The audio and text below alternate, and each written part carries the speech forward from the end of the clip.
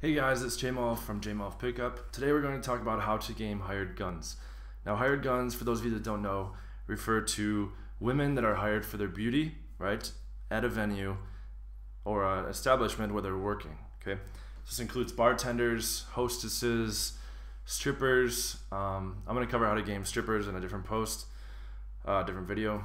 Um, let's see, um, waitresses uh, go-go dancers, basically any girl that was hired because she is hot and then she's working for the venue. Okay, so typically in all my other types of game situations, I encourage opening direct, which means you go straight in, you look the girl in the eyes, you talk to her like, "Hey, what's up? I wanted to meet you. What's your name?" You expressed interest, you're physical, you flirt with her. The problem with doing that type of approach in a hired gun environment on a hired gun is that this is how all the customers are acting. So basically, like picture there's like a hot waitress, right? All the guys in the restaurant are like constantly staring at her. She's probably dressed in a little outfit. Like say, let's use Hooters as an example, okay? So you have a Hooters waitress. She has her tits out, like her ass is kind of falling out of her shorts. She is just constantly used to like everyone staring at her. Guys are like making sexual remarks directly to her guys are all trying to flirt with her. Like she has to like flirt back because she wants to get a good tip and she wants to like make the customer have a good experience. But she's not almost ever into those guys, right? It's like fake interest. But these guys like feed off that and they're like, oh, like this girl likes me or like, you know, um, whatever, like this hot girl is into me, even though she's that's just part of her job, right? So it kind of like feeds these guys to make more sexual remarks, give her more attention, flirt more. So you don't want to be placed into that category of what I'm going to refer to as the customer frame, right? And what that means is basically like someone who's constantly giving her attention, complimenting her, saying sexual remarks, flirting with her. So in the case of hired guns, I strongly advocate approaching them, talking to them indirect. So what that means is you're going to be not hitting on them directly, and you're also going to be cementing yourself as industry. Okay, so what that means is you're going to there's this whole thing called like us versus them. So like she might be like fucking like some loser manager from Hooters, like some guy that's like overweight and like dropped out of high school, but he's like on the inside, right? It's like the us versus them. He's part of the staff, he's part of like the cool group, and then you have all these like loser customers that are just like out there trying to um, you know, just throwing themselves all, all over this girl, like throwing themselves at this girl, right? So, what I usually do, and I actually was a DJ before I got into like seduction and pickup coaching and stuff like that. I was a club DJ. You don't need to be. You can say that you're a DJ. You can say you're uh, an event promoter. You can say that you throw parties. Like you don't you don't need to like flat out lie to them if you don't want to. Um, but the way I typically do it is I'll be like, hey, what's up? I just moved here. Like, say I'm at Hooters, right? The, the waitress comes over, hey, what's up? I just moved here. Um, I'm gonna be DJing at clubs, like whatever the hottest two clubs are. So I'm gonna be DJing clubs X and Y. Um, have you ever been to those clubs? And she's like, wow, like you're gonna be playing at those places? Yeah, yeah. Like, do you know any other good places I could play at? And she's like, oh, well, there's this club and this club. Oh, cool. Like, let me invite you out when I have events. Sound good? Like, and you, you're getting her number like really fast, right? Because you're working with very limited time frames when you're gaming a hired gun. The reason for that is they're working, right? So if it's a waitress, you're gonna have multiple opportunities to talk to her because she's gonna be coming back over and over. But if you're trying to talk to a, a really hot bartender real quick, she's you know serving the, all these customers, so you're gonna have a really small window. Or if it's a hostess that's seating people, you know you're gonna get interrupted within a minute or two by the next people that come into the restaurant. So you have these little tiny windows. So my principle basically is if, you have more time, like if you if you're gonna have more opportunities to talk to them, you don't need to go like really hard for the number really fast. I still usually get it pretty fast, and then I just fill in um, comfort and vibing further. So say in the case of the the Hooters waitress, um, I might not ask for the number on the first time she comes around. I might ask the second. First time she comes around, I'm like, "Yo, what's up? I just moved here um, from Las Vegas or from New York or whatever, just some cool city. I'm gonna be playing it um, you know popular clubs, and I'm not saying popular clubs, but I'm I'm picking the most two popular clubs. I'm gonna be playing at this club and this club. Um, have you been there before? Oh yeah, that's really cool. Okay, customer frame gone, right? Now you're part of the industry crowd. You are part of the people, the high value um, industry crowd. Okay, that's really huge because now you're no longer a customer. It's just like, oh, like you're so hot, like I think you're so sexy, all this shit, right? Um, and then I usually get the number under the pretense that I'm going to invite them to an event. Or a lot of times I, I will say, like one of my favorite ones is I'll say, um, do you ever do any guest bartending? Like say you're hitting on a bartender and you're like, do you do work outside this bar? Like I throw big events. Sometimes we need extra people to hire. Like, can I grab your info and I can hire you when we have big events? Can you write your number down real quick? So now you have this girl's info. And yes, you got it under the pretense that you're going to be hiring her for an event but the event, if they bring it up, which they even usually don't over text, if they do bring it up, they're like, oh, when's this event? Like, let me know details. You're like, oh, I'm still planning it. It's gonna be next month. You just kind of push that off, and it just kind of like got you in the door, so you can meet up with them for a date. So when it gets to, so you get the number, and then when it gets to the point of texting with them, um, again, I don't, I don't ever bring up the event, right? I just treat it like a normal number close.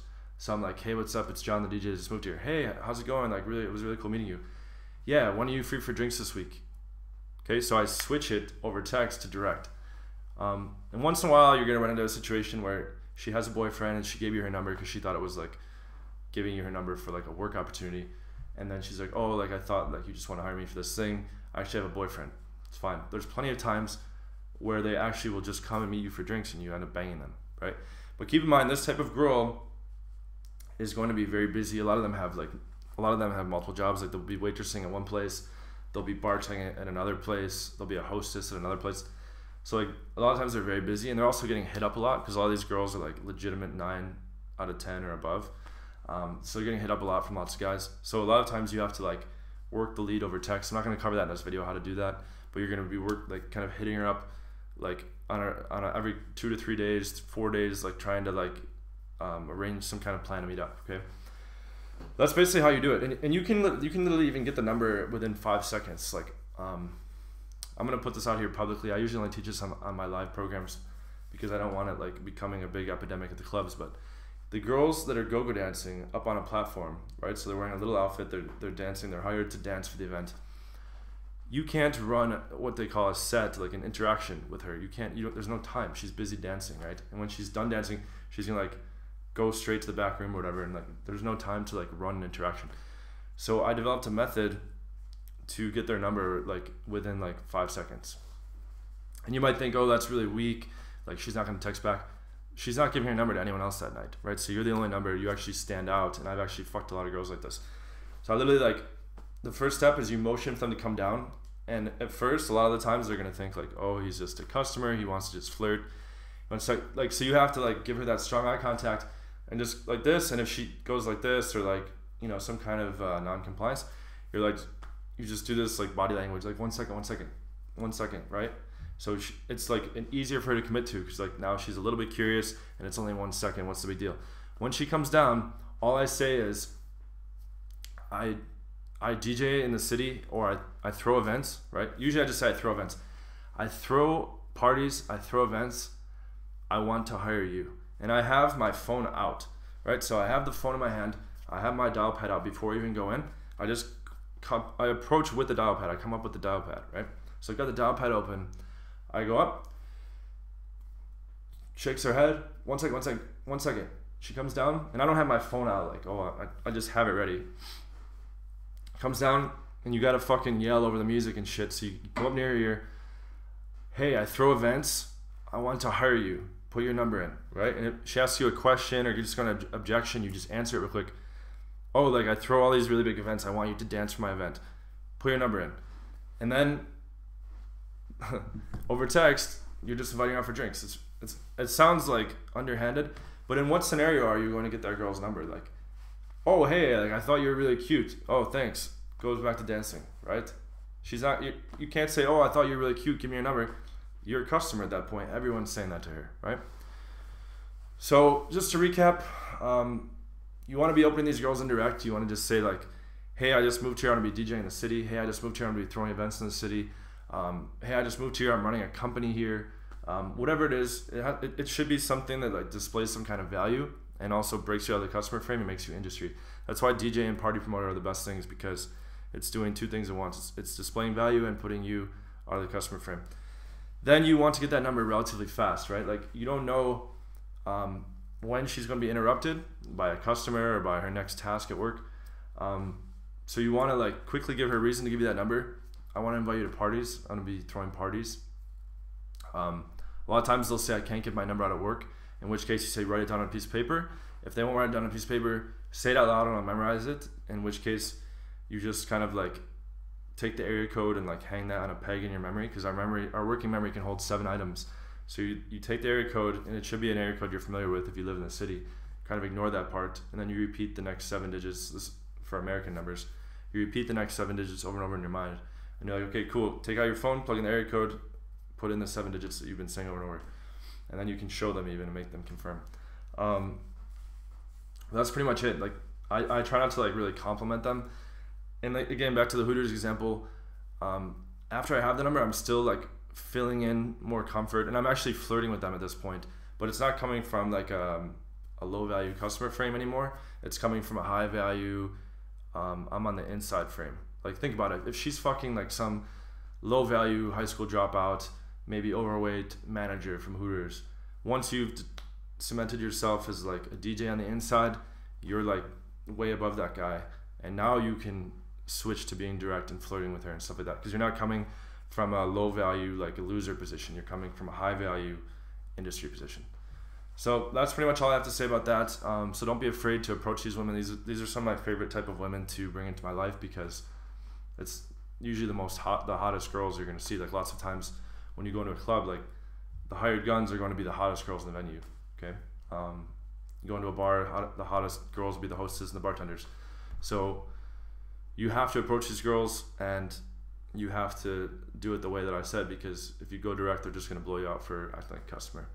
So thank you guys. Hope you learned a lot. See you next time.